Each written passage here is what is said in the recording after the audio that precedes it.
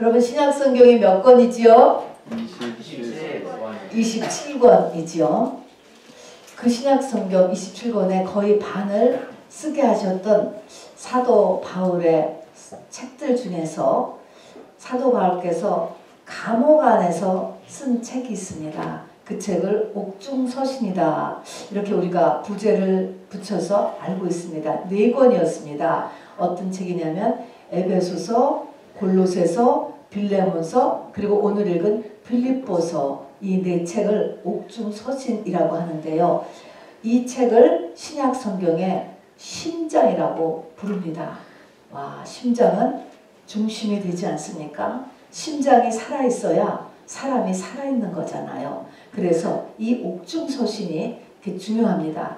그런데 이 옥중서신 가운데서도 가장 나중에 쓰여진 책, 가장 뭐라 그럴까요? 어렵다고 할까요? 그런 책이 빌립보서입니다.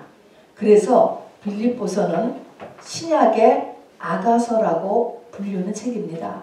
자 그러면 우리 빌립보서의 그 위치를 우리가 알 수 있잖아요. 신약의 심장이 되는 책, 또 신약의 아가서라고 불리우는 책이다. 매우 중요한 책입니다. 아가서는 우리가 알다시피 구약에서 가장 높은 경지의 책이잖아요.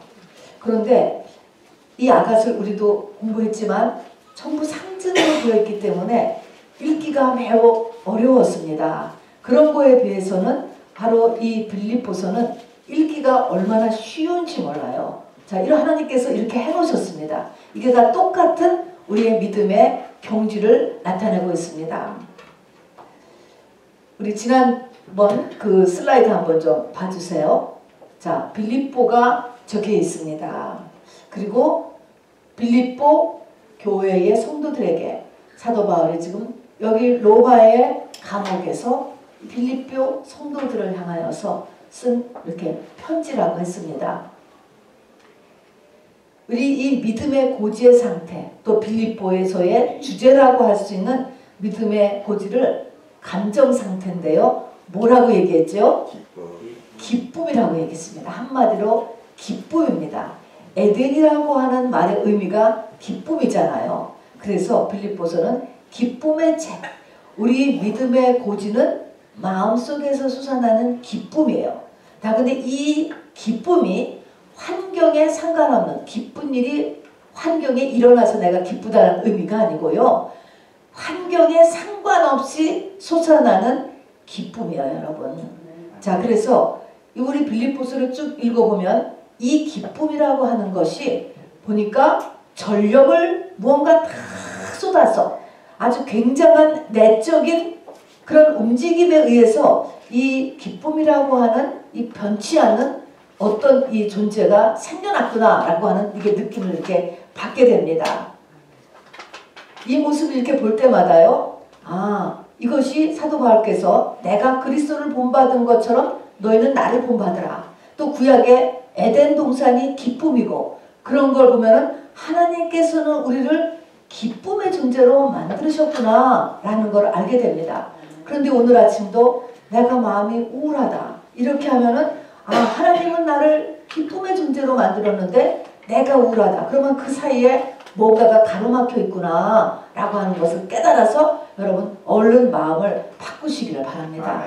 하나님의 형상이 우리 속에 기쁨이 소, 소, 용솟음칠 수 있도록 뭔가가 있어야 되는 것입니다 여러분. 기쁨의 존재인 것이죠 우리가 지난 시간에 빌립보서를 나눠봤습니다. 그죠? 자 그래서 빌립보서를 보고요 오늘이 마무리입니다 여러분 그래서 두 번에 걸쳐서 이제 이 믿음의 고진 이 빌립보서를 같이 나눠보려고 합니다 사도 바울의 삶은요 갈라디아서 2장 20절에 얘기해 놓고 계세요 내가 그리스도와 함께 십자가에 못 박혔나니 이제부터는 내가 사는 것이 아니요 내 안에 그리스도께서 사시는 것이라 이렇게 말씀하신 거 우리가 알죠. 이 말씀 한 절을 펴놓은 것이 빌립보스예요. 자 그러면 갈라디아서 2장 20절의 말씀대로 사니까 이렇게 사니까 그 마음의 중심에 변치 않는 기쁨이 있더라고 하는 것이죠. 여러분 놀라운 것입니다. 이거는 음, 감옥 안에 그것도 감옥에서 곧 풀려난다도 아니에요. 죽을지도 모르는 이런 사회의 가장 밑바닥, 인생의 가장 밑바닥이라고 있는 이 상태에 있으면서도 오히려 감옥 바깥의 사람에게 기뻐하라. 주 안에서 항상 기뻐하라. 내가 다시 말하노니 기뻐하라. 하고 이게 기쁨을 부탁하고 자기도 이 기쁨의 상태를 표현하고 할 수 있는 것은 이게 보통 일이 아닌 것이죠. 여기까지 우리가 올라갈 수 있어야 됩니다. 자 그래서 이 사도 바울의 사는 모습은 갈라디아서 2장 20절이고 이것을 조금 더 자세하게 펴놓은 것이 빌립보서다라고 하는 것을 설명해 드렸습니다. 자, 바울의 모습이 어떠한가? 우리가 세 가지를 우리 지난 아직도 복습입니다. 바울의 남다른 모습, 우리하고 다른 모습 세 가지가 우리가 지난번에 우리가 보았습니다. 이 모습이 그 속에 기쁨의 샘이 있는 사람의 모습이에요. 어. 내가 그리스도와 십자가 못 박혀서 내 안에 그리스도께서 나를 사는 모습이에요. 이것이. 이것이 나타나는 모습입니다. 첫 번째가 뭐니까 우리가 지난번 빌립보서 1장 20절에서 보든지 내가 아무 일에든지 부끄러워하지 아니하였다 그랬습니다. 부끄러워하지 않는 삶, 열등감에서의 해방이에요. 당시에는 로마의 속국으로 있었기 때문에 유대인이라는 것 자체부터 시작이 이게 열등감이에요, 여러분. 음. 자, 그런데 그것뿐이 아니고도 모든 세상의 열등감에서 해방, 열등감에서 해방된다는 것은 자족의 삶과 같은 거예요. 만족해요, 사는 것이. 또 높은 자존감을 갖고 있는 거예요. 이거는 자아가 높은 게 아닙니다. 자존감이라는 것은 내가 하나님 안에서 얼마나 귀한 존재인가라고 하는 것을 깨닫고 사는 것입니다. 그래서 바로 모든 열등감에서 해방된 모습으로 이 바울께서 살고 계셨어요. 그리고 이 바울의 삶의 목적이 뭐냐? 돈 버는 게 목적, 자식을 잘 키우는 게 목적이 아니고요. 사도 바울의 목적은 그리스도가 확장되는 것만이 목적이었습니다. 내 안에 그리스도가 확장되고 그리고 내 주변의 사람들에게 그리스도가 확장되는 것이 여러분 삶의 목적이었습니다. 그래서 어떻게 해서든지 예수 그리스도만 전파되면 자기는 그것으로 기뻐한다. 또 어떤 일이든지 내 안에 그리스도가 또 확장되면 그것이 감옥이든지 간에 여기 지금 감옥에 있잖아요. 또 굶는 일이든지 간에 어떤 일이든지 내 안에 그리스도만 확장되면 할렐루야 그것을 삶의 목적으로 살았던 분입니다. 그 다음에 세 번째는요. 죽음이라고 하는 것에 대해서 해결을 갖고 있었던 분이라고 했습니다. 죽음이라고 하는 것은 내 믿음을 거울에 비추어 보는 것과 같다고 했습니다. 그래서 이 내가 죽음을 딱 대면했을 때의 나의 태도 이것이 나의 믿음의 본전이에요. 사실은 말입니다. 자 그래서 사도 바울 보니까 내세에 대한 확신이 있었습니다. 또 죽으면 주님과 함께한다 라고 하는 확신이 있었습니다. 또 죽으면은 나에게 상이 기다리고 있다. 내세 준비 완료라는 것이죠. 어, 나에게 상이 기다리고 있다. 그래서 디모데후서 유원서에서도 바로 나뿐만 아니라 너희들도 다 그렇다 이렇게 얘기했습니다. 그래서 상 받을 것을 마음에 확정하고 있었다고요. 다 했어. 할 일 다 했다는 것입니다. 또 그 다음에 이 땅에서 자기가 기대, 기대하지 않게 죽는다 할지라도 만일 이 땅에서의 나의 죽음이 하나님의 경륜 가운데 하나님의 어떤 목적을 갖고 있는 것이라면 자기가 죽는 것도 유익하다. 이렇게 얘기를 했습니다, 여러분. 그래서 이 죽는 문제를 해결하고 있었습니다. 여러분, 이 세 고지가 얼마나 여러분 사실 높습니까? 그리고 얼마나 훌륭합니까?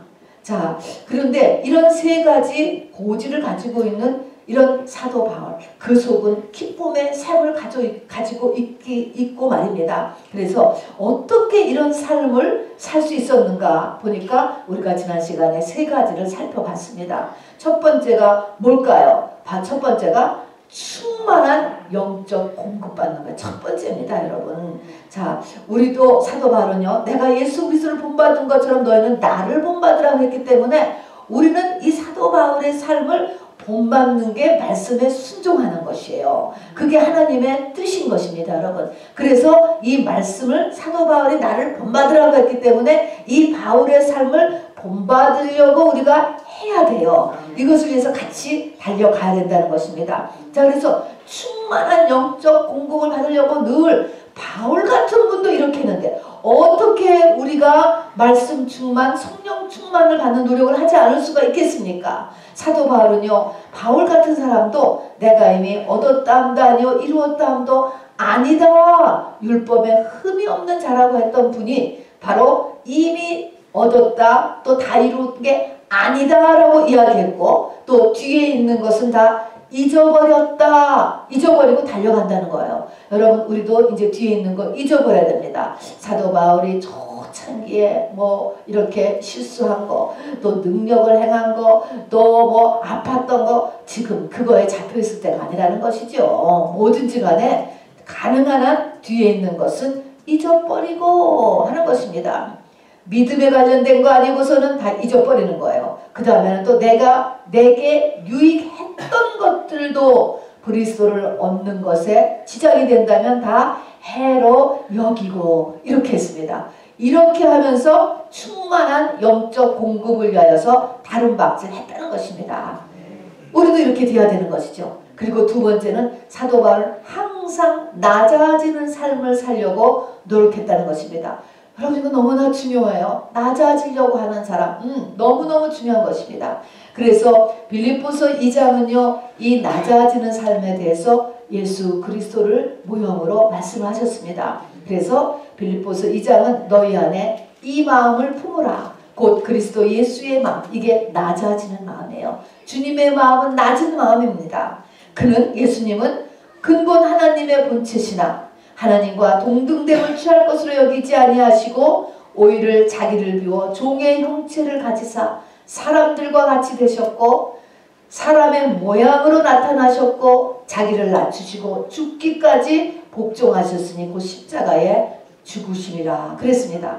그러니까 하나님께서 그를 지극히 높여 모든 이름에 뛰어난 이름을 주셨고 모든 입이 예수 그리스도를 주라시나요 하나님 아버지께 영광을 돌리게 하였다라고 이야기를 하셨습니다. 그래서 낮아지는 마음을 갖도록 여러분 꼭 우리의 행동 강력으로 삼으시길 바랍니다. 세 번째는 교회 생활을 반드시 성공하도록 이야기하셨습니다. 교회 생활 성공. 왜 교회 생활을 성공해야 되냐면요. 교회는 예수 그리스도의 몸이에요. 머리는 예수 그리스도고 몸은 교회라는 것입니다. 교회 생활을 승리해야 돼요. 자, 그러면 교회 생활의 성공은 더 구체적으로 말하면 인간관계의 승리입니다, 여러분. 모든 인, 교회 내의 인간관계, 교회 다니는 사람하고 원수 맺지 않는 것이죠. 자, 물론 사도 바울에게도 바울을 떠난 사람, 바울 해를, 해를 입힌 사람 있어요. 그러나 그게 아니고요. 바로 이 교회 하나님께서 만나주신 그 인간관계 속에서 바로 친형제 가족보다도 더한 인간관계를 맺고 있는 모습을 봅니다. 1장 3절에 보니까 이렇게 시작하잖아요. 빌립보 교인들에게도 내가 너희를 생각할 때마다 하나님께 감사하며 그랬습니다. 그 사람을 생각할 때마다 하나님께 감사하고 또 1장 4절에 보면은 내가 기도할 때마다 기쁨으로 간구하고 그 사람의 기도 제목을 내가 기도할 때마다 기쁨으로 간구하고 1장 26절에 보면은 예수 안에서 너희가 나의 자랑이 되고 내가 너희의 자랑이 된다 이랬습니다. 둘이 서로 자랑이 된다. 또 4장 1절에 보니까 나의 사랑하고 사모하는 형제자매 나의 기쁨이요 멸류관은 사랑하는 자들 우리 4장 오늘 읽었죠? 아, 여기 보니까 다섯 개나 나와요. 나의 사랑하는 자, 나의 사모하는 자, 나의 기쁨인 자, 나의 멸류관인 자, 사랑하는 자. 여러분, 이런, 이런 관계를 맺었다는 것이죠. 뭐, 모든 세상 사람하고 다 맺는 것이 아니고, 이렇게 교회 내 사람들하고 이런 관계. 여러분, 이것을 보면은 친가족 이상 가는 공동체 아닙니까? 또그 뒤에서도 보니까 유오디가를 유오디아를 권하고 순두개를 권하고 또한 글레멘트에게 또 나의 동역자들을 도와주고 또 끝에 사장 끝에 가서도 보면은 예수 안에는 성도들에게 각각 무난하고 또 나와 함께 있는 형제들이 너희에게 또 무난하고 너희에게 무난한다 무난한다 무난한다 하, 정말 이 아름답고 따뜻하고 이러한 이 다정한 모습들이 이렇게 보여주고 있습니다. 너는 너고 나는 나고 누가 있는 줄도 모르고 여러분 전부 다 포장을 하고 이렇게 사는 것은 교회 생활을 실패하는 거예요. 은혜를 받지 못해요. 그러면은 주님 앞에 성장할 수가 없게 됩니다. 자 그래서 우리 사도 바울의 이렇게 사도 바울이 믿음의 고지에 올라갔어요. 예수님 다음 가게 올라가는데 이 사도 바울이 고지에 올라갈 수 있는 행동 강령 세 가지 여기까지가 지난주였는데 첫 번째가 항상 충만한 영적 공급 받는 것 첫 번째. 두 번째는 항상 낮아지려고 노력해 낮아지려고. 세 번째는 뭐예요? 교회 생활에 교회 생활 이 생활 잘하는 것입니다, 여러분. 음. 자 이렇게 해서 이것이 하면서 이렇게 이제 신앙생활을 했다는 것입니다. 자 오늘 빌립보서 4장에 보면요. 빌립보서 4장에는 또 다른 세 가지의 행동 강령이 나와 있습니다. 자, 요 세 가지까지를 이제 우리가 합해야 되는 거예요. 자, 이 세 가지의 행동 강령은요. 어떻게 보면은 내가 믿음이 성숙하면 반드시 나타나는 세 가지이기도 하고 또 내가 믿음이 성숙해지기 위해서 해야 되는 일이기도 합니다. 자, 그래서 이제 앞에까지 해서 세 가지 행동 강령이 있었고요. 또 이제 사장에서 세 가지의 행동 강령이 있습니다. 4장 1절에서부터 우리가 읽었는데요. 여기 있는 것처럼 시작은 이제 3장의 뒷부분부터 연결되기 때문에 나의 사랑하고 사모하고 기쁨이요 멸류가 아닌 사랑하는 이런 사랑하는 자들아 이렇게 시작합니다. 교회 내에 정말 따뜻한 바로 인간관계를 보여주고 있죠. 교회 생활에 이것이 성공을 이야기하는 것입니다. 올해가 가기 전에 일주일 남았습니다. 혹시라도 믿는 자하고 엉긴 것이 있으면 반드시 해결하고 가시기를 꼭 부탁드리겠습니다. 이것이 매우 중요합니다. 자, 그렇게 한 다음에 우리가 우리가 지난번에도 지난주일날 한 그 세 가지를 신앙생활을 내가 잘 하고 있다라면은 이제 그 다음에 나타나는 것, 또 나타나야 할 것이 뭐냐면 4장 5절이요. 4장 5절. 음. 너의 뭐를 4장 5절 읽어보시기 바랍니다. 너의 관용을 모든 사람에게 알게 하라. 덕이 나온다는 거야. 사람에게 덕이 나와요. 덕. 덕이라는 것은 뭡니까? 인격이에요. 인격. 인격이 나온다는 것입니다. 여러분 사도 바울의 삶을요. 가만히 들여다보면요. 어떻게 보면 정말 사도 바울이 너의 많은 지식이 너로 미치게 하였다 하는 것처럼 정말로 이렇게 뭐 정신병 중증의 사람 같은 모습을 가지고 있어요. 정말로. 어. 그러나 다른 게 뭔지 아세요? 그의 인격인 것입니다. 덕이 있어요. 여기에서 그러니까 열매가 다른 것이죠. 하는 행동은 이게 정말 다 버리고 뛰고 이걸 정상이라고 우리가 볼 수 있겠어요. 어떻게 보면은요. 그런데 그의 그런 행동은 어떻게 보면 정말 미쳤구나 이렇게 볼 수 있지만 보통 상식적인 기준에서 그에게 나온 이런 인격이 놀라운 것입니다. 반드시 이게 동반돼야 되는 거예요. 인격의 베이직이 뭐냐? 관용이라는 것입니다. 관용이 나오고요. 그 다음에 8절에 가서 보세요. 형제들아 무엇이든지 참되며 무엇이든지 경건하며 무엇이든지 오르며 무엇이든지 정결하며 무엇이든지 사랑받을 만하며 무엇이든지 칭찬받을 만하다는 거예요. 자, 관용이라고 하는 덕을 가지고 있고요. 그 다음에는 무슨 일을 하든지 간에 참되다는 거예요. 진실하다는 것입니다. 경건하다는 거예요. 옳다는 거예요. 정결하다는 것입니다. 사랑받을 만 하다는 거예요. 칭찬받을 만 하다는 것입니다. 이게 사도 바울의 덕이에요. 덕. 그래서 이러한 일곱 가지의 덕을 이렇게 사도 바울께서 쓰고 있는 것입니다. 자 그러면 관용이라는 게 도대체 뭐냐면 관용. 관용. 제일 중요한 대표적인 인격이 관용입니다. 관용이라고 하는 것은 생각이 우선 깊어요. 어떤 일 생각이 깊고 상대방에 대한 깊은 배려를 하는 것입니다. 저 사람의 입장을 생각해 보는 것이죠. 깊게. 그래서 상대방에서 깊은 배려를 할 줄 알고 그 다음에는 자기의 유익만을 위해서 움직이지 않고 그 다음에 부드럽고 그 다음에는 또 중요한 것은 멍해를 같이 질 수 있는 품성이에요. 여기 나와요. 멍해 멍해 그래서 나와 멍해를 같이 하던 같이 한 네 개 관원이 그래서 이 하나님의 사람들은 멍해를 같이 질주하는 이런 품성, 성품 이것이 다 관용에서 나오는 것입니다. 그래서 우리가 다 관용의 사람이 되어야 돼요. 어. 자 그래서 이 관용, 이 관용이 구약에서의 용어를 보면은요. 열왕기상 4장 29절에 보면 하나님께서 솔로몬에게 지혜와 명철을 힘이 많이 주셨다. 그리고 또 주신 게 있는데 뭐죠? 넓은 마음을 주셨다. 이렇게 이야기했습니다. 그래서 지혜, 명철, 그리고 넓은 마음이 꼬로 관용이에요.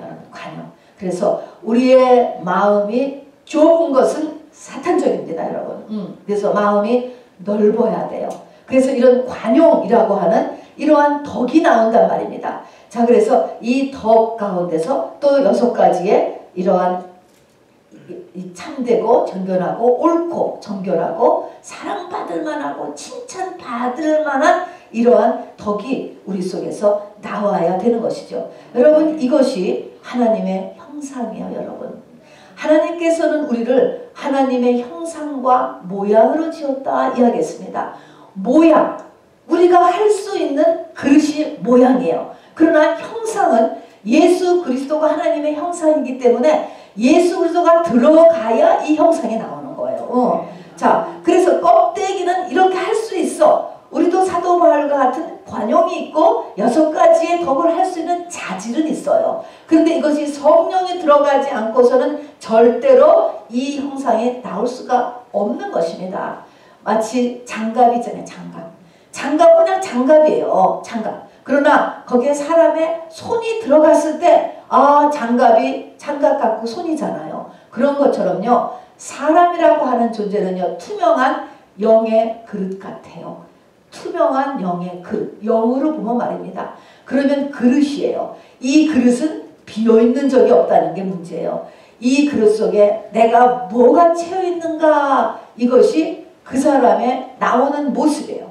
이것이 그 사람이 받는 복이 환경으로 다 이것이 번져 나오는 것입니다. 그래서 문제와 복은 바깥에 있는 게 아니고 자기 안에 있게 됩니다. 그래서 내가 새해도 복을 받나 새해 복 많이 받으세요 하는 이 복을 받으려면은 뭐가 변해야 되냐면 내 안에 영이 변해야 돼요. 그래서 이 영에는 성령과 사람의 영과 각종 세상의 영이 들어있다고 했습니다.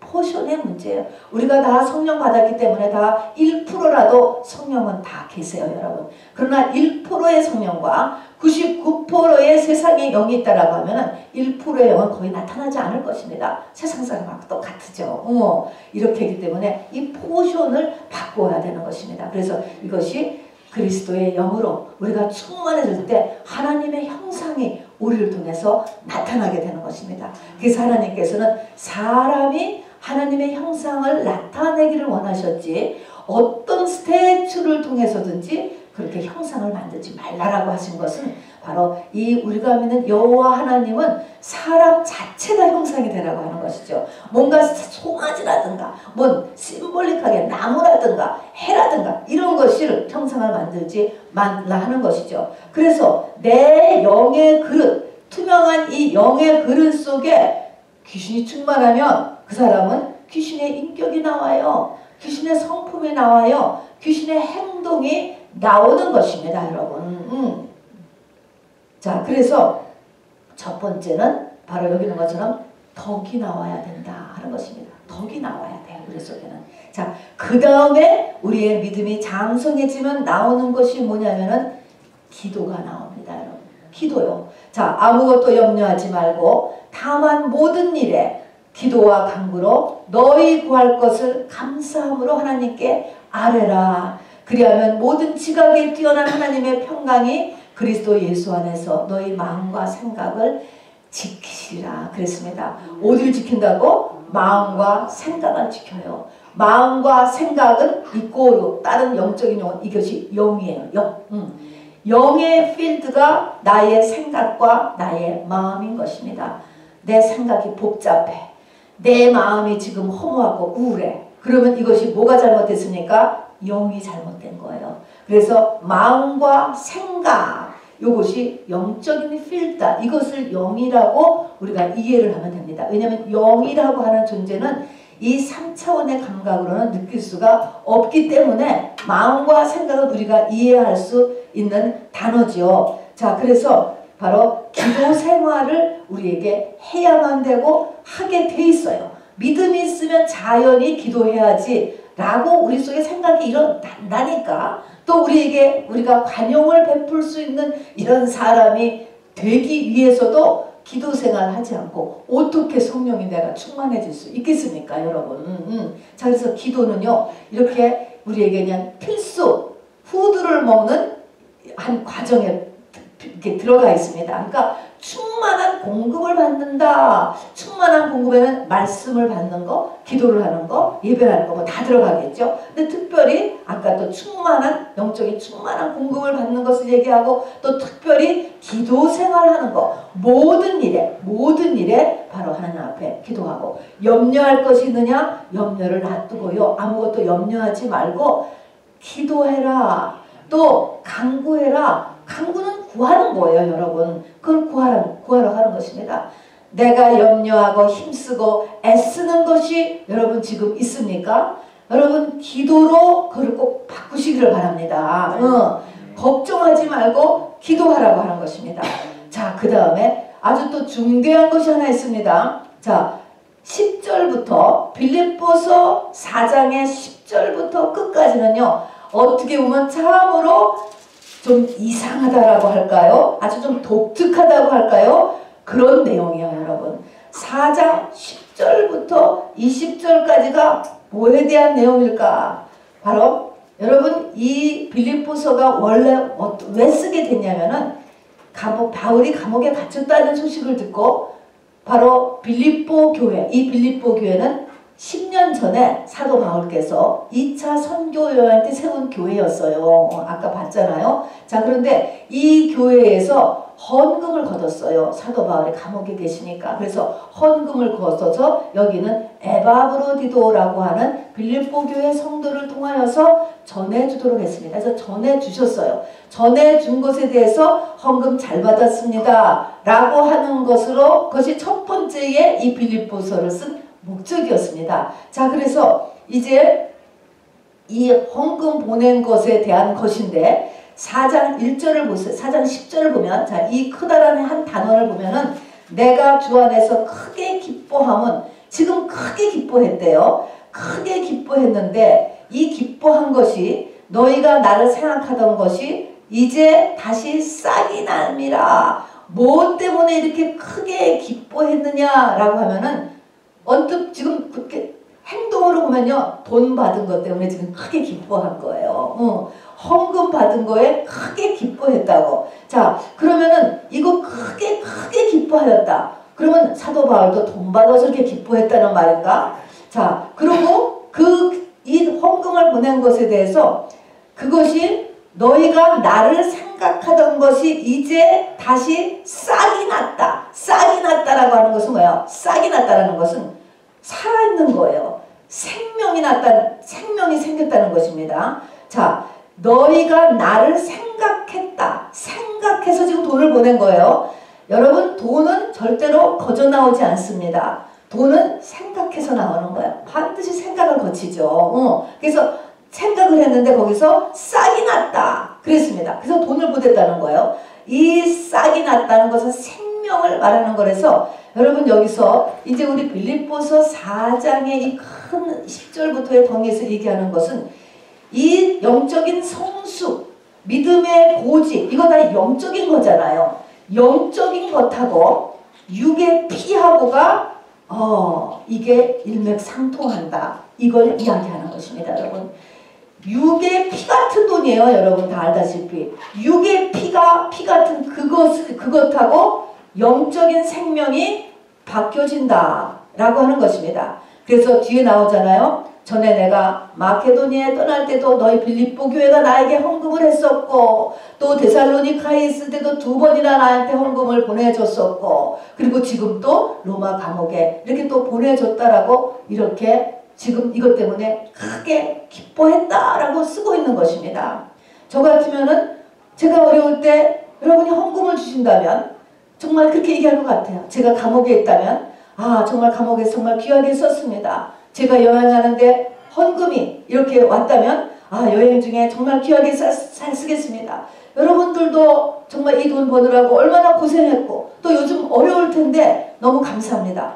이렇게 얘기를 할 것 같아. 그때 사도 바울은요. 이 돈 받은 것에 대해서 지금 너무나 기뻐했어요. 기뻐하고 이것이 생명이 나오는 거다. 이렇게 얘기하면서 지금 뭐라고 세가 네 가지를 얘기했구나. 네 가지를 지금 답을 보냈어요.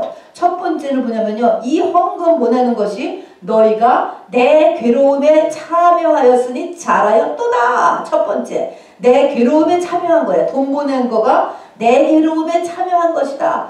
두 번째는 내가 너희에게 돈을 받아서 좋은 것이 아니고 이것이 너희가 하나님께 보물을 쌓은 것이 되어서 내가 기쁘다라고 하는 것입니다. 그래서 너희가 보물을 하나님께 쌓았다. 이것은 뭐냐면 하늘나라 내 구자에 내 입금이 증가되었기 때문에 내가 기쁘다는 것입니다. 자 그래서 마태복음 6장에도 나오죠. 너희의 보물을 하나님께 쌓아라. 여러분 이런 말이 들어보나요? 근데 저는 지금은 조금 들어오지요. 만일에 우리 아들이 정말 하나님 앞에 헌금하면 저는 정말로 기뻐. 걔가 돈이 없어졌다고 섭섭하는 게 아니고 정말로 기뻐할 수 있을 것 같아요. 어. 이런 것처럼 이렇게 내 하늘나라에 나의 그 사람의 구자에 입금이 증가돼서 기쁘다는 것이에요.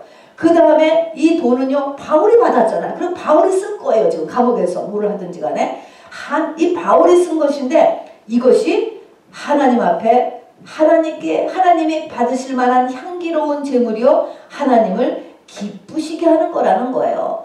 자기가 기쁜 게 아니고 하나님을 기쁘시게 하는, 거, 하는 것이라는 것입니다. 그래서 결론을 모아요. 나의 하나님이 그리스도 예수 안에서 영광 가운데 그 풍성한 대로 너의 모든 쓸 것을 채우시리라 이렇게 결론을 내주는 것입니다. 자 물론 물론 이것은 아무한테나 또 뭐 아무 그냥 교회 뭐 선교단체 그런 거에 무조건 그냥 예수 이름으로 돈을 냈다라는 걸 얘기하는 게 아니죠. 바울 같은 사람한테 하는 거야. 바울 같은 사람에게. 응.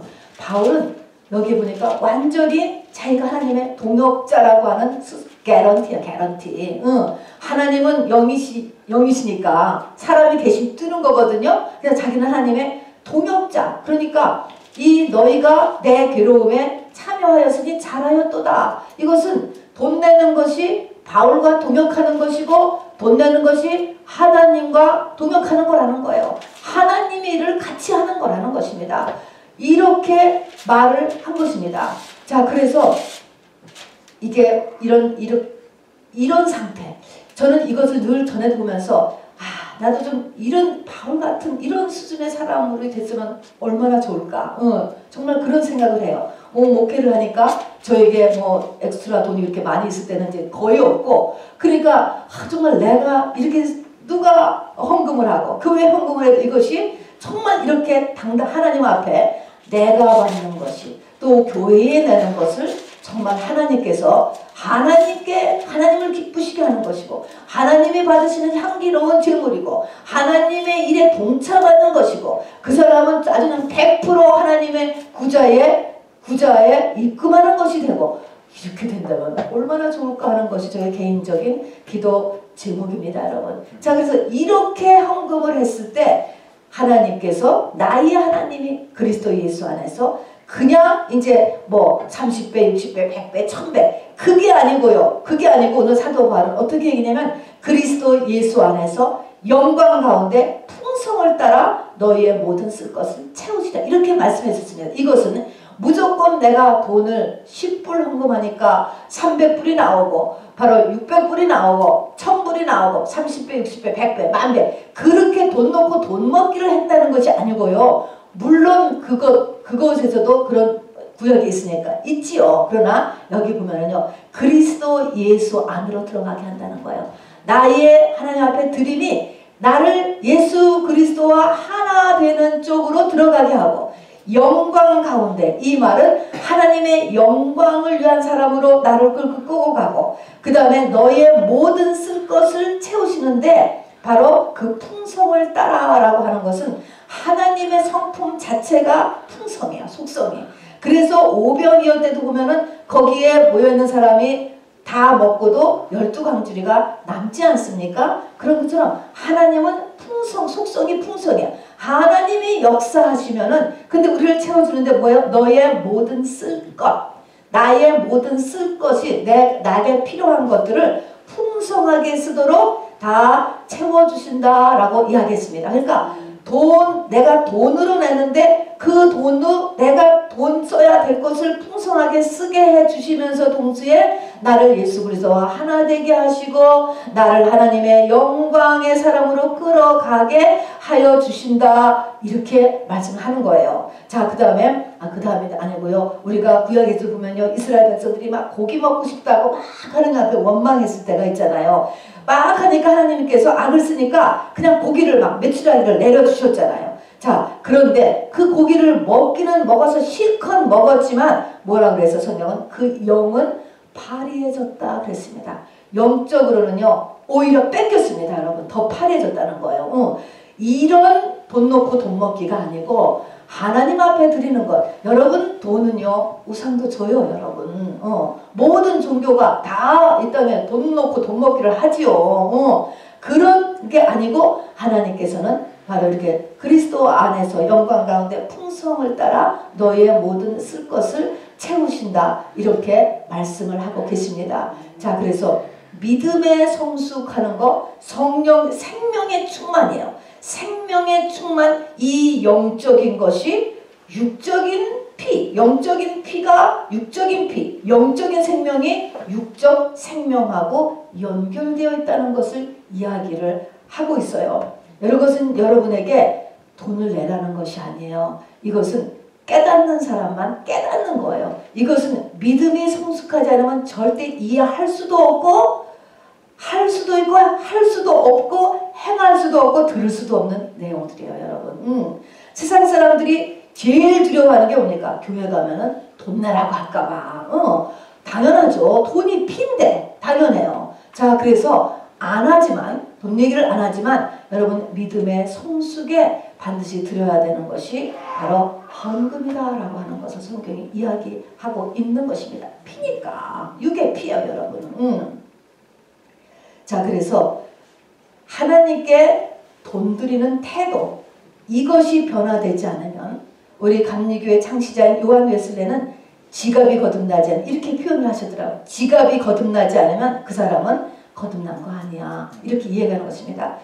돈에 대한 것이 하나님 앞에 돈 드리는 것에 대한 이 행위가 고쳐지거나 변화되지 않으면 믿음은 성장되지 못하고 또 안 한 표시고 그것이 믿음이 안 컸다라는 표시가 돼요. 그리고 또 믿음의 고지에 이를 수도 없다라고 하는 것을 끝으로 그것도 맨 끝으로 얘기하죠. 가장 힘든 이야기이기 때문에 끝에 섰는지 그건 잘 모르겠어요. 자 어쨌든 이렇게 오늘 빌립보서 4장을 통해서 세 가지의 행동 강력, 성숙의 지표인 세 가지 이야기하고 있습니다. 첫 번째는 덕이 나타나야 되는 거예요. 두 번째는 기도가 나타나야 되는 거예요. 그리고 세 번째는 바로 이렇게 하나님께 돈 드리는 것에 대한 우리의 변화가 나타내야 된다는 것입니다.